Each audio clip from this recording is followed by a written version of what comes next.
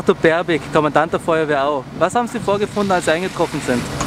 Ja, bei unserem Eintreffen äh, war der Dachstuhl bereits in Vollbrand. Äh, massive Brandentwicklung, also im oberen Dach. Äh, Windrichtung war taleinwärts, was die Schwierigkeit vom Nachbarobjekt zu schützen mit sich gebracht hat. Äh, ja, Im Einsatz waren die Feuerwehren Schröcken, Schoppernau, Au, Schneppfau, Millau, Bezau, Raute, die Drehleiter Anspruch, äh, das Rote Kreuz ist äh, auch im Einsatz mit mehreren Fahrzeugen und die Polizei.